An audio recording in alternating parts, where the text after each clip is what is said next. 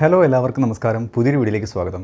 നമുക്കിന്ന് ഈ വീഡിയോയിലൂടെ റോൾസ് തിയറി ഓഫ് ജസ്റ്റിസ് എന്താണെന്ന് മനസ്സിലാക്കാം. ഇത് വെൽഫെയർ എക്കണോമിക്സിൽ വരുന്ന ഒരു തിയറിയാണ്. ഒരു സബ്സ്ക്രൈബർ ആവശ്യപ്പെട്ടതുകൊണ്ടാണ് ഈ തിയറി ചെയ്യുന്നത്. ഓക്കെ? ഇത് ഈ തിയറി പറയുമ്പോഴത്തേക്കും മറ്റ് ആൾക്കാരുടെ തിയറിയും കൂടെ കമ്പയർ ചെയ്തിട്ടാണ് പറയുന്നത്. ഇത് കുറച്ച് സങ്കീർണമായ തിയറിയാണ് കേട്ടോ. സങ്കീർണം എന്ന് പറയുന്നത് മനസ്സിലാക്കാൻ എളുപ്പമാണ്. പക്ഷേ ഇത് പ്രാ ഇതിന്റെ പ്രാക്ടിക്കൽ സൈഡ് സൊസൈറ്റിയിൽ ഇതിന്റെ പ്രാക്ടിക്കൽ സൈഡ് നോക്കുമ്പോഴത്തേക്ക് ഇതിങ്ങനെയൊക്കെ പോസിബിൾ ആണോ എന്നൊരു സന്ദേഹം നമുക്കുണ്ടാവും. ഓക്കെ? എന്തായാലും നമുക്ക് തിയറിയിലേക്ക് കടക്കാം. Okay Rawls theory of justice അതായത് റോൾസ് തിയറി ഓഫ് ജസ്റ്റിസ് അതായത് ജോൺ റോൾസ് എന്ന അമേരിക്കൻ ഫിലോസഫർ സോഷ്യോളജിസ്റ്റ് കൂടിയായ ജോൺ റോൾസ് ആണ് ഈ തിയറി ഇൻട്രൊഡ്യൂസ് ചെയ്തത്. വെൽഫെയർ എക്കണോമിക്സിൽ വരുന്നത് കൊണ്ട് തന്നെ ഇതാണ് ജസ്റ്റിസ് അതായത് സോഷ്യൽ ജസ്റ്റിസ് അല്ലേ? അപ്പം സമൂഹത്തിന്റെ ജസ്റ്റിസ് എന്ന് വെച്ചാൽ നീതി. എങ്ങനെ സമൂഹത്തിൽ നീതി ലഭിക്കും എന്നുള്ള കാര്യങ്ങളൊക്കെ ആയിരിക്കും ഇതിൽ വരുന്നത്. നമുക്ക് അതിന്റെ ഇൻട്രൊഡക്ഷൻ പാർട്ടിലേക്ക് കിടക്കാം. It is a criterion based on high degree of equality in the distribution of income അതാദ്യം മനസ്സിലാക്കുക. അതായത് നമ്മുടെ സെൻട്രൽ പ്രോബ്ലംസ് ഓഫ് ദ ഇക്കോണമിയിൽ വരുന്ന അതായത് ഒരു ഒരു എക്കോണമിയുടെ അടിസ്ഥാന പ്രശ്നങ്ങളിൽ വരുന്ന ഒന്ന് തന്നെയാണ് എന്താണ് ഈക്വൽ ഡിസ്ട്രിബ്യൂഷൻ ഓഫ് ഇൻകം എന്ന് പറയുന്നത്. അപ്പം അതിനെ ആസ്പദമാക്കിയാണ് ഈ തിയറി ചെയ്തിരിക്കുന്നത്. എങ്ങനെയാണ് ഈക്വൽ ഡിസ്ട്രിബ്യൂഷൻ ഓഫ് ഇൻകം എങ്ങനെ ഉണ്ടാക്കാം? ഓക്കെ അപ്പോൾ നോക്കാം. Rawl presented liberal egalitarian model അതായത് ലിബറൽ എന്ന് വെച്ചാൽ സ്വതന്ത്രമായ ഈഗാലിറ്റേറിയൻ ഓക്കെ ഈഗാലിറ്റേറിയൻ വെച്ചാൽ എന്താണ്? സമത്വവാദം എന്ന് പറയും കേട്ടോ. അപ്പം സ്വതന്ത്രമായ സമത്വവാദം. അതിന്റെ അർത്ഥം മനസ്സിലാക്കാൻ വേണ്ടി പറഞ്ഞതേ ഉള്ളൂ. Egalitarian model of justice and fairness അതായത് ഈ ജസ്റ്റിസ് ആൻഡ് ഫെയർനെസ് ഞാൻ അണ്ടർലൈൻ ചെയ്തിരിക്കുന്നത് ഈ തിയറിയിൽ അതായത് ഈ ലിബറൽ ഈഗാലിറ്റേറിയൻ മോഡൽ ആ സമ സ്വതന്ത്ര സമത്വവാദം എന്നുള്ള എന്നുള്ള ആ മോഡലിൽ ഇദ്ദേഹം ജസ്റ്റിസ് ആൻഡ് ഫെയർനെസ് നീതി ന്യായം സമൂഹത്തിന് നീതി ന്യായം എങ്ങനെ ലഭിക്കാം? ഇതിനെയാണ് ഇതിനെ ഊന്നിയാണ് ഇദ്ദേഹം തിയറി ചെയ്തിരിക്കുന്നത്. അപ്പം ഈ ഈഗാലിറ്റേറിയൻ മോഡൽ ഈ ജസ്റ്റിസ് ആൻഡ് ഫെയർനെസ്സിനെ ആസ്പദമാക്കി ഇദ്ദേഹം ഒരു ബുക്കിലാണ് എഴുതിയത്. ആ ബുക്ക് ഇതാണ് in his book a theory of social justice എന്ന അദ്ദേഹത്തിന്റെ അതായത് ജോൺ റോൾസിന്റെ ഈ ബുക്കിലാണ് ഇദ്ദേഹത്തിനെ പറ്റി പറയുന്നത്. ഇൻട്രൊഡക്ഷൻ ഇനി നമുക്ക് തിയറിലേക്ക് കടക്കുന്നതിന് മുമ്പ് രണ്ട് ചോദ്യങ്ങൾ നമുക്ക് ഫേസ് ചെയ്യേണ്ടതുണ്ട് ഉണ്ടെന്നാണ് ഇദ്ദേഹം പറയുന്നത്. ഓക്കെ ഇതിൽ തിയറി ആ ക്വസ്റ്റ്യൻസ് ഇതൊക്കെയാണ്. There are two questions consider before starting theory രണ്ട് നിങ്ങളുടെ അടുത്ത് ഈ രണ്ട് ക്വസ്റ്റ്യൻ ചോദിക്കുകയാണെന്ന് വിചാരിക്കുക. In which type of society you want to live ഏത് സൊസൈ ഏത് സമൂഹത്തിലാണ് നിങ്ങൾക്ക് എങ്ങനെയുള്ള സമൂഹത്തിലാണ് നിങ്ങൾ ജീവിക്കാൻ താല്പര്യം? What is good society according to you നിങ്ങളുടെ ആ, അഭിപ്രായ പ്രകാരം നല്ലൊരു സൊസൈറ്റി എന്ന് പറഞ്ഞാൽ എന്താണ്? അപ്പോൾ കോമൺ ആയിട്ട് വരുന്ന ആൻസർ എന്താണ്? In a society where your interest are a privileged position അതായത് നിങ്ങളുടെ താല്പര്യങ്ങൾക്ക് പ്രാധാന്യം കൽപ്പിക്കുന്ന ഒരു ഒരു സൊസൈറ്റി ആയിരിക്കും നിങ്ങൾക്ക് ഇഷ്ടം ജീവിക്കാൻ ഇഷ്ടം. പക്ഷേ ഇത് ഹൈലി അൺ റിയലിസ്റ്റിക് എന്നാണ് റോൾ പറയുന്നത്. നിങ്ങളുടെ എല്ലാ താല്പര്യങ്ങൾക്കും എന്താണ് പ്രാധാന്യം കൽപ്പിച്ചുകൊണ്ട് മൂവ് ചെയ്യുന്ന സൊസൈറ്റി ഉണ്ടാകില്ല. പക്ഷേ അദ്ദേഹം പറയുന്നത് this is unfair and unjust ഇത് അൺഫെയർ ആണെന്നാണ് പറയുന്നത്. Okay according to Rawls the basis of society ഇനി ഇദ്ദേഹത്തിന്റെ അഭിപ്രായ പ്രകാരം basis of society is a set of tacit agreements ഈ ടാസിന് വെച്ചാൽ മൗനമായിട്ടുള്ള അതായത് മൂകമായിട്ടുള്ള എഗ്രിമെൻസിന്റെ അടിസ്ഥാനത്തിലാണ് സൊസൈറ്റി റൺ ചെയ്യുന്നത് പറയുന്നത്. പക്ഷേ ഈ മൗനമായിട്ടുള്ള agreements Rawls argued that these arguments must not be depend dependent on positions position in society അതായത് ഒരാളുടെ പൊസിഷനെ ആശ്രയിച്ചായിരിക്കരുത് ഈ സമ്മതം. ഒരാളെ ഒരാളെ അടിസ്ഥാന പ്രകാരമായിരിക്കരുത്. പിന്നെ എങ്ങനെയാണ് but motivated by justice and fairness നീതി ന്യായത്തിൽ ഊന്നിക്കൊള്ളുള്ള ആ മൗന സമൂഹത്തിന്റെ അടിസ്ഥാനത്തിലായിരിക്കണം സൊസൈറ്റി റൺ ചെയ്യുന്ന ചെയ്യേണ്ടതെന്നാണ് ഇദ്ദേഹം പറയുന്നത്. ഇനി Rawls framed his concept based on three major principles John Rawls പ്രധാനമായി പ്രധാനമായും മൂന്ന് പ്രിൻസിപ്പിൾസ് പ്രിൻസിപ്പിൾസിന്റെ അടിസ്ഥാനത്തിലാണ് ഈ കോൺസെപ്റ്റ് ഫ്രെയിം ചെയ്തിരിക്കുന്നത്. നോക്കാം. ഒന്ന് പ്രിൻസിപ്പിൾ ഓഫ് ഈക്വൽ ലിബർട്ടി അത് നമുക്ക് കേൾക്കുന്ന അറിയാം. ഈക്വൽ ലിബർട്ടി വെച്ചാൽ എല്ലാവർക്കും സമത്വം. എന്താണ് റൈറ്റ് ടു വോട്ട് എന്താണ് right to speech right to travel ഇങ്ങനെയുള്ള എല്ലാവർക്കും അതായത് maximum personal freedom equal right to all individuals maximum personal freedom കൊടുക്കുക എല്ലാവർക്കും തുല്യമായിട്ടുള്ള ഫ്രീഡം കൊടുക്കുക. അല്ലെങ്കിൽ ഈക്വൽ റൈറ്റ് കൊടുക്കുക. രണ്ടാമത്തത് principle of fair and equality of opportunity അവസരത്തിൽ എല്ലാവർക്കും തുല്യമായ അവസരങ്ങൾക്ക് ഇപ്പോൾ തൊഴിലവസരങ്ങളായാലും ഒരു സ്കിൽ ഡെവലപ്പ് ചെയ്യുന്ന അവസരമായാലും എല്ലാവർക്കും ഈക്വലായിട്ട് കൊടുക്കുക. Equal equality in job training skill developing എല്ലാത്തിനും അതിനുള്ള ഇക്വാലിറ്റി കൊടുക്കുക. ഇദ്ദേഹത്തിന്റെ എന്താ ഇദ്ദേഹം ഈ ഇദ്ദേഹത്തിന്റെ പ്രിൻസിപ്പിളാണ് ആരുടെ? റോൾസിന്റെ പ്രിൻസിപ്പിളാണ് ഇനി അടുത്തത് ഡിഫറൻസ് പ്രിൻസിപ്പിൾ ഡിഫറൻസ് പ്രിൻസിപ്പിൾ എന്ന് പറയുന്നത് ഇതാണ് policy should be framed to improve the condition of the worlds of അതായത് ഇദ്ദേഹത്തിന്റെ ഏറ്റവും പ്ര- പ്രധാനപ്പെട്ട കാര്യങ്ങളൊന്നാണ് വഴ്സ് ഓഫ് അതായത് സൊസൈറ്റിയിൽ ഏറ്റവും വഴ്സ് ഓഫ് ആയി നിൽക്കുന്നവരില്ലേ അവരെ ഇമ്പ്രൂവ് ചെയ്യുന്നതിനുള്ള കണ്ടീഷൻ അതായത് policy should be framed to improve the condition of the worse of worse of ആയി നിൽക്കുന്നവരുടെ കണ്ടീഷൻ ഇമ്പ്രൂവ് ചെയ്യുന്ന അവരുടെ അവസ്ഥ മെച്ചപ്പെടുന്നതിന് വേണ്ടിയുള്ള പോളിസി ആയിരിക്കണം എന്ന് ഇദ്ദേഹം പറയുന്നു അദ്ദേഹത്തിന്റെ പ്രിൻസിപ്പിളിൽ പറയുന്നു. ഓക്കെ ഇനി നേരത്തെ ഇൻട്രൊഡക്ഷനിൽ പറഞ്ഞല്ലോ മറ്റ് തിയറികളായിട്ട് കമ്പയർ ചെയ്തിട്ട് പറയുന്നത്. അപ്പം various approaches to the concept of justice അതായത് ഒന്ന് രണ്ട് മറ്റ് ജസ്റ്റിസിനെ ജസ്റ്റിസിനെ പറ്റിയുള്ള മറ്റ് അപ്രോച്ചുകളെ കമ്പയർ ചെയ്ത് പറയുകയാണ്. ഒന്നാമത്തത് യൂട്ടിലിറ്റേർ യൂട്ടിലിറ്റേറിയനിസം എന്ന് പറയും കേട്ടോ. യൂട്ടിലിറ്റി അറിയാലോ യൂട്ടിലിറ്റേറിയനിസം അപ്പം യൂട്ടിലിറ്റേറിയനിസം പറയുന്നത് greatest good to the greatest number of people is good അതായത് ഒരു സൊസൈറ്റിയിൽ ഏറ്റവും നല്ല ഗുഡ് ഗ്രേറ്റസ്റ്റ് നമ്പർ ഓഫ് പീപ്പിളിന് ഒരു സൊസൈറ്റിയിൽ ഇപ്പോൾ നൂറ് ശതമാനം ആൾക്കാരുണ്ട് തൊണ്ണൂറ് ശതമാനം ആൾക്കാർക്ക് നല്ല ഗുഡ് കിട്ടി. പക്ഷേ പത്ത് ശതമാനം ആൾക്കാർക്ക് കുറച്ച് അവരെ അത് അഫക്റ്റ് ചെയ്തു. അത് അവർക്ക് നന്നായിട്ട് ലഭിച്ചില്ല. എന്നാൽ അത് ഗുഡാണെന്നാണ് പറയുന്നത്. അപ്പോൾ അതായത് if a if a policy badly affect the least number of people അതായത് ഒരു പോളിസി ലീസ്റ്റ് നമ്പർ ഓഫ് പീപ്പിളിനെ മോശമായിട്ട് ബാധിച്ചാൽ ഇറ്റ് ക്യാൻ ബി സപ്പോർട്ടഡ് അത് സപ്പോർട്ട് ചെയ്യാന്നാണ് പറയുന്നത്. പക്ഷേ അത് കുറച്ച് ആൾക്കാരല്ലേ മോശമായിട്ട് ബാധിച്ചുള്ളൂ. പക്ഷേ അദ്ദേഹം അത് തെറ്റാണെന്ന് പറഞ്ഞുകൊണ്ട് ഒരു വാദം പറയുന്നുണ്ട്. Rawls did not support this എന്താണ്? എന്തുകൊണ്ടാണ് സപ്പോർട്ട് ചെയ്യുന്ന Rawls because in case of slavery അറിയില്ല. അടിമത്തത്തിന്റെ കാര്യത്തിൽ ഒരു സൊസൈറ്റി നൂറ് ശതമാനം ആൾക്കാരുണ്ടെങ്കിൽ അല്ലെങ്കിൽ നൂറ് ശതമാനം ആൾക്കാരും അല്ലെങ്കിൽ തൊണ്ണൂറ് ശതമാനം ആൾക്കാരും അല്ല അടിമത്തം അനുഭവിക്കുന്നത്. പണ്ടുള്ള കാര്യം പറയണം. അപ്പോൾ ഒരു പത്ത് ശതമാനം അഞ്ച് ശതമാനം ആൾക്കാർ ആയിരിക്കും എന്തോ? അടിമത്തം അപ്പോൾ ഈ അഞ്ച് ശതമാനം ആൾക്കാർക്കല്ലേ അത് ബാഡായിട്ട് അഫക്റ്റ് ചെയ്തുള്ളൂ. അപ്പോൾ അത് ജസ്റ്റിസ് ആണ് ജസ്റ്റിസ് ആണെന്ന് പറയാൻ പറ്റത്തു പറ്റത്തില്ലല്ലോ. അതാണ് അദ്ദേഹം ഇതിനുവേണ്ടി നിർത്തുന്ന വാദം. Slavery only least number of people are suffering ഞാൻ പറഞ്ഞല്ലോ. അപ്പോൾ അത് സപ്പോർട്ട് ചെയ്യാൻ പറ്റത്തില്ല. ഇപ്പോൾ ഈ അപ്രോച്ച് സപ്പോർട്ട് ചെയ്യാൻ പറ്റത്തില്ലെന്ന് റോൾ പറയുന്നു. നോക്കുക. The basic approach to justice is that each must be treated exactly as one deserves അതായത് ഇതിന്റെ ഏറ്റവും ബെസ്റ്റ് ബേസിക് അപ്രോച്ച് എന്ന് വെച്ചാൽ ഓരോരുത്തരും അവർ അർഹിക്കുന്നത് അനുസരിച്ച് എന്ത് ചെയ്യുക? അവർക്ക് ജസ്റ്റിസ് കിട്ടണം. Exactly basic approach justice is that each must be treated exactly as one deserves ഓരോരുത്തർക്കും അർഹിക്കുന്ന രീതിയിൽ അവരെ ട്രീറ്റ് ചെയ്യുക എന്നാണ് ഇദ്ദേഹത്തിന്റെ അഭിപ്രായത്തിൽ പറയുന്നത്. ഇനി ഈ two approaches to the theory of justice അതായത് ഈ ജസ്റ്റിസ് തിയറി എന്താണ് എന്താ ഈ നീതി ലഭിക്കുന്ന ആ തിയറിയുടെ ടു അപ്രോച്ചസ് ഉണ്ട്. ആ രണ്ട് അപ്രോച്ചസ് ഇതൊക്കെയാണ്. Merit theory of justice okay ഇതെന്താണെന്ന് ഞാൻ പറയാം. മെറിറ്റ് തിയറി എന്ന് വെച്ചാൽ merit is to be considered to give rewards and punishment മെറിറ്റിന്റെ അടിസ്ഥാനത്തിൽ റിവാർഡ്സും പണിഷ്മെന്റും കൊടുക്കുക. ഫസ്റ്റ് അപ്രോച്ചാണ് സോഷ്യൽ ജസ്റ്റിസിന്റെ രണ്ടാമതെന്ന് പറഞ്ഞാൽ നീഡ് തിയറി ഓഫ് ജസ്റ്റിസ് ഇത് വളരെ വിചിത്രമാണ് അതായത് need should be the basis of justice അതായത് ആവശ്യം അനുസരിച്ച് ഈ ആവശ്യമാണെന്ത് ജസ്റ്റിസിന്റെ അടിസ്ഥാനം എന്നാണ് പറയുന്നത്. അതായത് priority should be given to the least advantaged people അതായത് ലീസ്റ്റ് അഡ്വാന്റേജ്ഡ് പീപ്പിളിന് പ്രയോറിറ്റി കൊടുക്കുക മുൻഗണന കൊടുക്കുക. ഞാൻ പറഞ്ഞില്ല ലീ ലീസ്റ്റ് ഇവിടെ ലീസ്റ്റ് അഡ്വാന്റേജ്ഡ് പീപ്പിൾ ആരാണ്? സ്ലേവ്സ് അടിമകൾ അപ്പോൾ അങ്ങനെയുള്ള ആ ഉദാഹരണം മുൻനിർത്തി മനസ്സിലാൻ വേണ്ടി പറഞ്ഞതാണ് കേട്ടോ. അപ്പം ഇങ്ങനെ ലീസ്റ്റ് അഡ്വാന്റേജ് പീപ്പിളിന് എന്താണ് മുൻഗണന കൊടുക്കുക. അതാണ് നീഡ് തിയറി ഓഫ് ജസ്റ്റിസ് പറയുന്നത്. ഇപ്പോൾ ഇത് ഇതാണ് ഇത് തിയറി ഓഫ് ജസ്റ്റിസിന്റെ രണ്ട് അപ്രോച്ചസ് പറയുന്നേ ഉള്ളൂ. ഓക്കെ ഇനി റോൾസ് പ്രിൻസിപ്പിൾ ഓഫ് ജസ്റ്റിസ് ഇനി ഞാൻ പറഞ്ഞല്ലോ കമ്പയർ ചെയ്ത് പറയുകയാണ്. ഇനി റോൾസിന്റെ പ്രിൻസിപ്പിൾ ഓഫ് ജസ്റ്റിസ് എന്താണെന്ന് നോക്കാം. അതായത് ഒരു ഉദാഹരണമൊക്കെ പറയുന്നുണ്ട് അദ്ദേഹം. ആ ടെക്സ്റ്റ് ബുക്കിലുള്ള ഉദാഹരണങ്ങളാണ് ഞാൻ എക്സ്പ്ലെയിൻ ചെയ്യുന്നത്.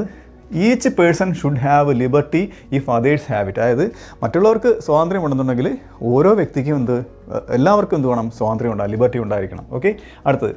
Social and economic inequalities are permitted if they relate to position open to all അതായത് social and economic inequality social and economic ഇന്നിക്വാ അസമത്വങ്ങൾ പെർമിറ്റഡ് ആണ്. എപ്പോഴാണ്? If they relate to position open to all അതായത് എല്ലാവർക്കും ഒരുപോലെ ആണ് എന്നുണ്ടെങ്കിൽ അത് അനുവദനീയമാണെന്നാണ് പറയുന്നത്. അടുത്തത് they should be greatest expected benefit to the least advantage members of the society okay അതായത് അത് ഈ എക്സാമ്പിൾ പറയുമ്പോൾ നിങ്ങൾക്ക് കൂടുതൽ ക്രിസ്റ്റൽ ക്ലിയർ ആയിട്ട് മനസ്സിലാവും. അതായത് there should be greatest expected benefit to the least advantage members of അതായത് ലീസ്റ്റ് അഡ്വാന്റേജ്ഡ് മെമ്പേഴ്സ് ഇല്ലേ?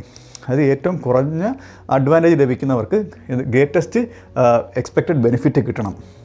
ഇനി worst people of the society should get best possible outcome അതായത് വസ്റ്റ് അതായത് ഏറ്റവും വർസ്റ്റ് ആയിട്ടുള്ള പീപ്പിളിന് നല്ല ബെസ്റ്റ് പോസിബിൾ ആയിട്ടുള്ള ഔട്ട്കം കിട്ടണം. അത് ഉദാഹരണം പറയുമ്പോൾ നിങ്ങൾക്ക് മനസ്സിലാവും. അതായത് എ ബി സി ഡി എന്ന് പറയുന്ന നാല് പീപ്പിളാണ് ഉള്ളത് നാല് നാല് ജനങ്ങൾ ഓക്കെ ഇവരുടെ options option one option two option three ഇങ്ങനെ. ഓക്കെ അതായത് ഈ ഇവർ ഓപ്ഷൻ വൺ തിരഞ്ഞെടുത്താൽ എന്താണ്? ഈ ആൾമോസ്റ്റ് ഈക്വൽ ആയിട്ടുള്ള എന്താണ്? വാല്യൂസ് ആണ് കിട്ടുന്നത്. അവരുടെ ജസ്റ്റിസ് ഈക്വൽ വാല്യൂസ് ആണ്. എക്ക് അറുപത് അമ്പത്തഞ്ച് അമ്പത് നാൽപ്പത്തഞ്ച് അതിന്റെ ടോട്ടൽ നോക്കുക ഇരുന്നൂറ്റി പത്ത് ഓപ്ഷൻ ടുവിന്റെ ടോട്ടൽ നോക്കുക മുന്നൂറ്റി എഴുപത് ഓപ്ഷൻ ത്രീയുടെ ടോട്ടലോ നാനൂറ്റി പത്ത് പക്ഷേ ഇവിടെ മനസ്സിലാക്കേണ്ട കാര്യം വെച്ചാൽ സൊസൈറ്റി വിൽ ചോ ചൂസ് ഓപ്ഷൻ ത്രീ സൊസൈറ്റി എന്താണ് ചൂസ് ചെയ്യുന്നത്? ഓപ്ഷൻ ത്രീയെ സെലക്ട് ചെയ്തോളൂ. എന്തുകൊണ്ടാണ്? അതിന്റെ ടോട്ടൽ എത്രയാണ്? നാനൂറ്റി പത്താണ് അതിന്റെ എന്താണ്? ജസ്റ്റിസ് കൂടുതലാണ്. Option one gives almost equal values option വണ്ണിന് ആൾമോസ്റ്റ് ഈക്വൽ വാല്യൂ ഞാൻ പറഞ്ഞു കഴിഞ്ഞു. ഓക്കെ അറുപത് അമ്പത്തഞ്ച് അമ്പത് നാൽപ്പത്തഞ്ച് അങ്ങനെ. Okay group D is the least advantage ഇവിടെ ലീസ്റ്റ് അഡ്വാന്റേജിൽ ആരും നോക്കുക? ഗ്രൂപ്പ് ഡി ആണ്. ഡി എന്ന വിഭാഗമാണ്. കാര്യം എന്താണ്? ഇവർക്ക് ഏറ്റവും കുറച്ച് ഈ നാല് കേ ഈ മൂന്ന് കേസിലും ഏറ്റവും കുറച്ച് എന്താണ് സോഷ്യൽ വെൽഫെയർ കിട്ടുന്നത് ഈ ഡി എന്ന ഗ്രൂപ്പിനാണ് ഇവിടെ നാൽപ്പത്തഞ്ച് ഇവിടെ അറുപത് ഇവിടെ അമ്പത്. എന്നാൽ ഈ ഡി എന്ന വിഭാഗത്തിന് ഈ മൂന്ന് ഓപ്ഷനിലും ഈ ഡി എന്ന വിഭാഗത്തിന് മാത്രം ഏറ്റവും കൂടുതൽ അഡ്വാന്റേജ് കിട്ടുന്നത് എവിടെയാണ്? ഈ രണ്ടാമത്തെ ഓപ്ഷൻ അല്ലേ? ഓക്കെ പക്ഷേ ഇതിൽ ഈ മൂന്നാമത്തെ ഓപ്ഷൻ സെലക്ട് ചെയ്താൽ ടോട്ടൽ വെൽഫെയർ നാനൂറ്റി പത്ത് കിട്ടുന്നു എന്നുണ്ടെങ്കിലും അവർക്ക് അമ്പതേ കിട്ടുന്നുള്ളൂ ആർക്ക്? ഡിക്ക് പക്ഷേ ഇവിടെയാണ് ടോട്ടൽ ഔട്ട് ടോട്ടൽ എന്താണ്? വാല്യൂ മുന്നൂറ്റി എഴുപതാണെന്നുണ്ടെങ്കിലും ഇവർക്ക് ലീസ്റ്റ് അഡ്വാന്റേജ് പീപ്പിളിന് എത്ര? അറുപത് കിട്ടുന്നുണ്ട്. ഓക്കെ അപ്പോൾ option two gives maximum welfare to the least advantage group okay ഞാൻ ഇപ്പോൾ പറഞ്ഞു. Even though total values lower than option three option ത്രീയെക്കാട്ടിൽ total value കുറവാണെന്നുണ്ടെങ്കിലും ഇത് ഓപ്ഷൻ ടുവിന് ടുവിൽ എന്താണ് ഗ്രൂപ്പ് ഡിക്ക് എന്ത് കിട്ടുന്നുണ്ട്? മാക്സിമം എന്താ വെൽഫെയർ കിട്ടുന്നുണ്ട്. അപ്പോൾ മാക്സിമിൻ സ്ട്രാറ്റജി എന്നാണ് ഇതിന് പറയുന്നത് കേട്ടോ. മാക്സിമിൻ അത് ഓർത്ത് വയ്ക്കുക അപ്പോൾ ഈ ഓപ്ഷൻ ടു എന്ന് പറയുന്നത് മാക്സിമിൻ സ്ട്രാറ്റജിയാണ് അപ്പം ഇവിടെ പറഞ്ഞത് ഒന്നുകൂടെ റിവൈൻഡ് ചെയ്ത് കേൾക്കുക എന്താണ്? ഇവിടെ ലീസ്റ്റ് അഡ്വാന്റേജ് പീപ്പിളിന് എന്ത് ഹയസ്റ്റ് പോസിബിൾ വെൽഫെയർ കിട്ടിക്കഴിഞ്ഞാൽ അതിനെയാണ് ഇത് മാക്സിമൻ സ്ട്രാറ്റജി എന്ന് പറയുന്നത്. ഓക്കെ ഇതാണ് റോൾസ് പ്രിൻസിപ്പിൾ ഓഫ് ജസ്റ്റിസ് ഇനി ഇതിലൊരു ഡയഗ്രാം വരുന്നുണ്ട്. അപ്പം ഇത് സ്പേസ് ഇല്ലാത്തതുകൊണ്ട് ഞാനിത് മായ്ച്ചിട്ട് വീഡിയോ പോസ്റ്റ് ചെയ്ത് മായ്ച്ചിട്ട് അത് എക്സ്പ്ലെയിൻ ചെയ്യാം. ഓക്കെ ഓക്കെ നമുക്ക് ഡയഗ്രത്തിലേക്ക് കിടക്കുന്നതിന് മുമ്പ് നമുക്ക് യൂട്ടിലിറ്റി ഫംഗ്ഷൻ എന്ന് നോക്കാം. ഓക്കെ യൂട്ടിലിറ്റി ഫംഗ്ഷൻ എന്ന് വെച്ചാൽ W is equal to W of U one U two U three up to U N ആണ്. അതായത് ഇവിടെ which is equal to minimum of U one U two U three up to U N ഇതിന്റെ അർത്ഥം വെച്ചാൽ minimum utilities of the society അതായത് ഈ- സൊസൈറ്റിയിലെ minimum utilities എല്ലാം കൂടെ ചേർത്ത് വയ്ക്കുമ്പോഴാണ് യൂട്ടിലിറ്റി ഫംഗ്ഷൻ കിട്ടുന്നത്. ഓക്കെ അത് ഡയഗ്രാം പറയുമ്പോൾ ഒന്നുകൂടെ ക്ലിയർ ആവും. അതിന്റെ മീനിങ് എന്ന് വെച്ചാൽ welfare of the society will be maximised സൊസൈറ്റിയുടെ വെൽഫെയർ മാക്സിമൈസ്ഡ് ആവും എപ്പോൾ? When the utility of the worst off is maximised maximised അതായത് വേൾസ്റ്റ് ഓഫ് വേൾസ് ഓഫ് ആയിട്ട് കിടക്കുന്നവർ അപ്പം ഏറ്റവും മോശമായിട്ട് നിൽക്കുന്ന ആൾക്കാരുടെ നേരത്തെ സ്ലേവിന്റെ കാര്യം പറഞ്ഞല്ലേ അപ്പം അതൊരു ഉദാഹരണം പറഞ്ഞതേ ഉള്ളൂ. അപ്പോൾ വേൾസ്റ്റ് ഓഫ് വേൾസ്റ്റ് ഓഫ് ആയി നിൽക്കുന്ന ആൾക്കാരുടെ എന്ത് യൂട്ടിലിറ്റി മാക്സിമൈസ്ഡ് ആകുമ്പോഴത്തേക്ക് സോഷ്യൽ യൂട്ടിലിറ്റി മാക്സിമൈസ് ആവും എന്നാണ് പറയുന്നത്. Okay welfare of the society maximize ആവും. ഇനി ഡയഗ്രം നോക്കാം. ഈ ഡയഗ്രത്തിൽ വൈ ആക്സിൽ ബി ഇൻകവും എക്സ് ആക്സിൽ എ സിൻകവുമാണ് കൊടുത്തിരിക്കുന്നത്. ഓക്കെ ഇതിൽ ഇത് നോക്കണ്ടോ ഈ ഫോർട്ടി ഫൈവ് ഡിഗ്രി ആംഗിൾ വെച്ചാൽ പെർഫെക്റ്റ് ഇക്വാളിറ്റി ലൈനാണ് ഓക്കെ ഈ ലൈനിൽ പെർഫെക്റ്റ് ഇക്വാളിറ്റി ഈ ലൈനിലാണ് സൊസൈറ്റി ആണെന്നുള്ളതിൽ എല്ലായിടത്തും പെർഫെക്റ്റ് ഇക്വാലിറ്റി ആണ്. അപ്പോൾ എസ് എന്ന് പറഞ്ഞ പോയിന്റ് പെർഫെക്റ്റ് ഇക്വാലിറ്റിയിലാണ് വരുന്നത്. ഓക്കെ അപ്പം ഇവിടെ ഇതിന് മുകളിലോട്ട് പോവാം. ഞാൻ പറയാം. അതായത് ഈ ഇത് I C one indifference curve one I C two I C three അതായത് higher level of indifference curve shows higher level of satisfaction ആണല്ലോ. അപ്പം ഇപ്പോൾ ഇവിടെ ഈ ഏരിയ കണ്ടോ? ഈ ഐ ഐ സീറോ എന്ന് പറഞ്ഞാൽ ഇങ്ങനൊരു ഏരിയ വരും. ഇതാ ഇങ്ങനെ പോയിട്ട് ഇങ്ങനെ വരിക ഈ ഏരിയ ഓക്കെ ഈ ഷെയർഡ് ഏരിയ എന്ന് പറയുന്നത് സോഷ്യൽ ഓപ്പർച്യൂണിറ്റി ഏരിയ ആണ്. അതിന്റെ അർത്ഥം വെച്ചാൽ opportunity for the society to select അതായത് ഈ ഏരിയയിൽ നിന്നാണ് സൊസൈറ്റിക്ക് സെലക്ട് ചെയ്യാനുള്ള ഓപ്പർച്യൂണിറ്റി ഉള്ളത്. ഈ ഏരിയയിലോട്ടൊന്നും പോകാൻ പറ്റത്തില്ല. ഓക്കെ? അപ്പോൾ എന്താണ് സംഭവിക്കുന്നത്?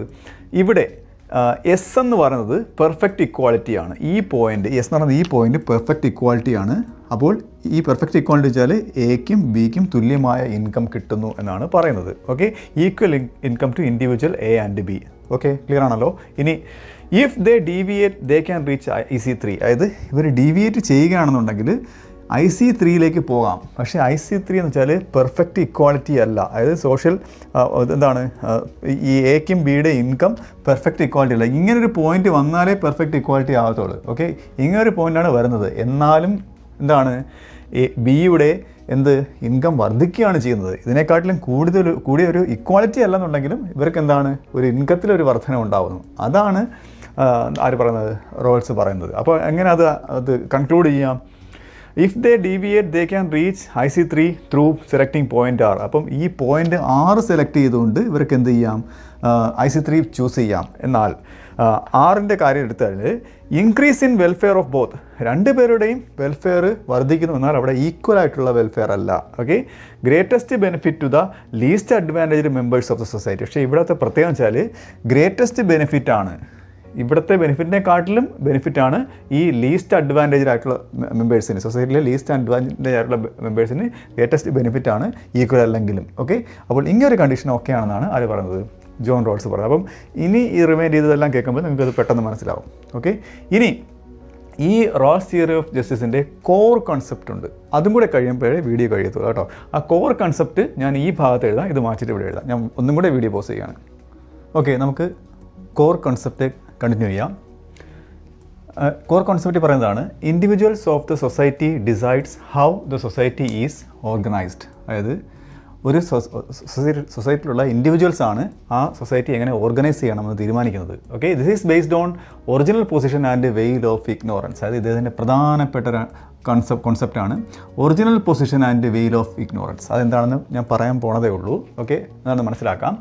ഒറിജിനൽ പൊസിഷൻ എന്ന് പറയുന്നത് original position position is free from all privileges അതായത് പ്രിവിലേജ് എല്ലാ പ്രിവിലേജസിൽ നിന്നും ഫ്രീ ആയിട്ട് നിൽക്കുന്ന ഒരു പ്രിവിലേജസും ഇല്ലാത്തൊരു പൊസിഷൻ അങ്ങനെ ഒരു പൊസിഷൻ അൺറിയലിസ്റ്റിക് ആണ് കേട്ടോ. അത് ക്രിറ്റിസൻസ് പറയുന്നുണ്ട്. അതായത് എല്ലാ പൊസിഷൻ ഇപ്പം ഞാൻ റിച്ച് ആണോ പുവറാണോ എന്റെ പൊസിഷൻ എനിക്ക് സൊസൈറ്റിയിൽ എന്റെ പൊസിഷൻ അറിയില്ല. ഇങ്ങനൊരു സിറ്റുവേഷനാണ് എന്താണ് ഒറിജിനൽ പൊസിഷൻ എന്ന് പറയുന്നത്. ഓക്കെ അത് അൺറിയലിസ്റ്റിക് ആണ്. അതൊരു കോൺസെപ്റ്റ് ആണല്ലോ തിയറി ആണല്ലോ. അപ്പം veil of IGNOU and veil of ignorance original position is free from all privileges in the situation and individual is free from all the privileges individual doesn't know his or her position അതായത് rich ആണോ poor ആണോ എന്നുള്ള അദ്ദേഹത്തിന് അറിയില്ല. This lack of knowledge is called veil of ignorance ഇങ്ങനെ അദ്ദേഹത്തിന്റെ position അറിയാത്ത ആ ഒരു ലാക്ക് ഓഫ് നോളജ് ഉള്ള സിറ്റുവേഷനെയാണ് വെയിൽ ഓഫ് ഇഗ്നോറൻസ് എന്ന് പറയുന്നത്. ഓക്കെ ഇപ്പോൾ നിങ്ങൾക്ക് ഒറിജിനൽ പൊസിഷനും വെയിൽ ഓഫ് ഇഗ്നോറൻസും മനസ്സിലായല്ലോ. ഇനി ഇദ്ദേഹം ഒരു കേക്ക് കട്ടിങ്ങിന്റെ പ്രധാനപ്പെട്ട എക്സാമ്പിൾ പറയുന്നുണ്ട്. അതായത് ഒരു കേക്ക് എട്ട് ഇൻഡിവിജ്വൽസ് ചേർന്ന് കട്ട് ചെയ്യുകയാണെന്ന് വിചാരിക്കുക. Eight individuals are going to cut a cake അപ്പം ആദ്യം നിങ്ങളാണ് വിളിക്കുന്നത്. നിങ്ങൾ കട്ട് ചെയ്തിട്ട് അതിലൊരു കഷ്ണം എടുത്തോളാൻ പറയുന്നു. അപ്പോൾ നിങ്ങൾ എന്ത് ചെയ്യും? സ്വാഭാവികമായിട്ടും റാഷണൽ തിങ്കിങ് ഉള്ള ആൾക്കാർ എന്ത് ചെയ്യും? കട്ട് ചെയ്തിട്ട് ഏറ്റവും വലിയ കഷ്ണം നോക്കി നിങ്ങൾ എടുക്കും ഓക്കെ അപ്പോൾ എന്താണ്? എന്താണ്? First person will take the biggest piece okay പക്ഷേ നിങ്ങൾക്ക് കട്ട് ചെയ്യാൻ വിളിച്ചു പക്ഷേ നിങ്ങൾക്ക് നിങ്ങൾ എത്രാമതാണ് കേക്ക് എടുക്കുന്നത് നിങ്ങൾക്ക് ആ പൊസിഷൻ നിങ്ങളുടെ പൊസിഷൻ അറിയത്തില്ല. അപ്പോൾ നിങ്ങൾ നിങ്ങൾ ചിലപ്പോൾ എട്ടാമതായിരിക്കും കേക്ക് എടുക്കുന്നത്. നിങ്ങൾ കട്ട് ചെയ്തിട്ട് ഞാൻ വന്നോളൂ പക്ഷേ എടുക്കേണ്ട നമ്പർ ഞാൻ പിന്നെ പറയാമെന്ന് പറഞ്ഞു. അപ്പോൾ എന്ത് ചെയ്യും? നിങ്ങൾ ചിലപ്പോൾ എട്ടാമതാണെന്നുണ്ടെങ്കിൽ എല്ലാ കേക്കും നിങ്ങൾ എന്ത് ചെയ്യാൻ നോക്കും? എല്ലാ പീസുകളും എട്ട് പീസുകളും നിങ്ങൾ ഈക്വലായിട്ട് കട്ട് ചെയ്യാൻ നോക്കും.